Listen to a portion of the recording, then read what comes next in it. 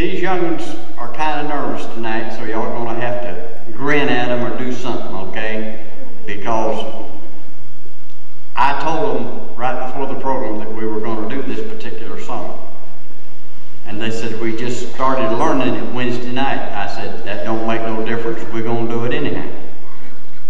And so after I got them up off the floor out of shock and got some orange juice in them and put a wet cloth on their head, reluctantly agreed to do it. And it's a song that was written by Mr. Leroy Abernathy a long time ago. And I loved it then and I still like it now. And I think these youngers do a good job. They may make mistakes. If they do, that's your fault. If they do it perfect, they'll tell you that it's their fault. Remind me of that every